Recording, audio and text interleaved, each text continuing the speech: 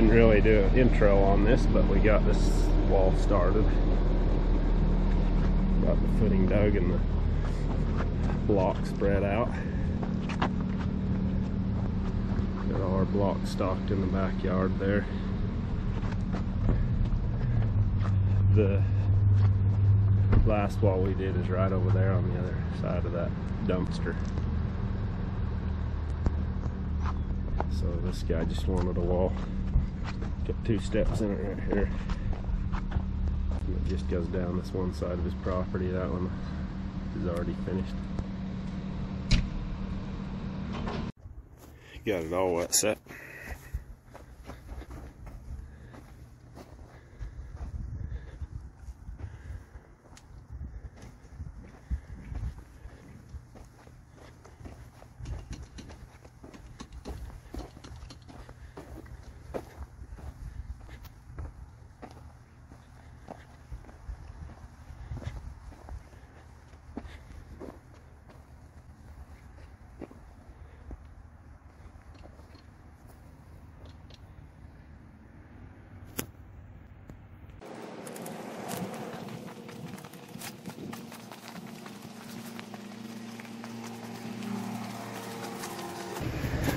We got this section wet set too.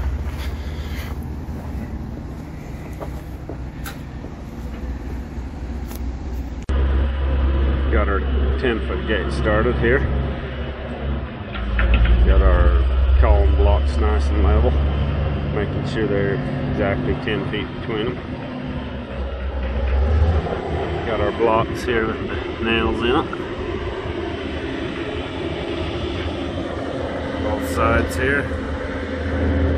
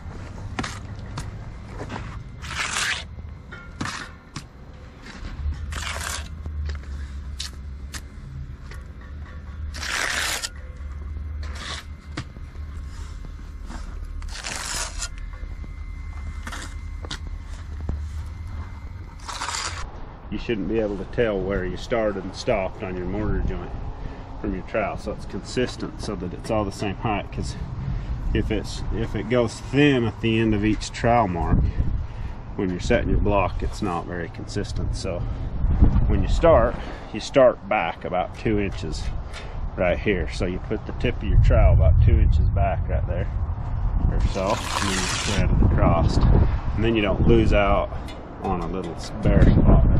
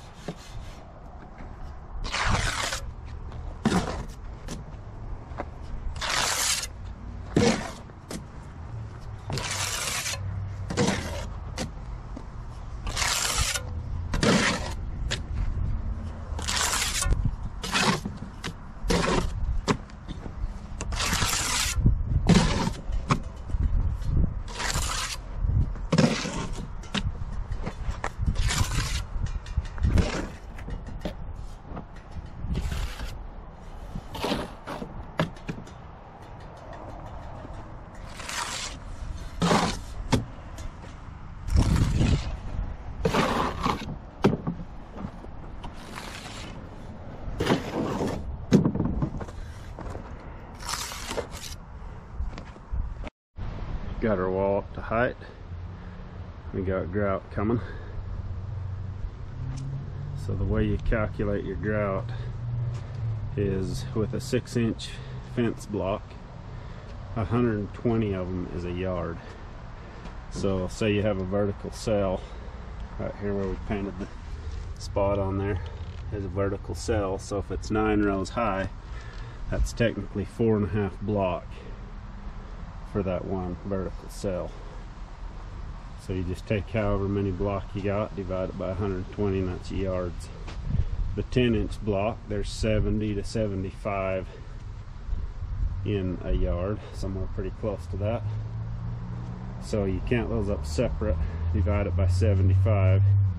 That's how many yards you need. So that's how we calculate it. Usually comes out pretty close.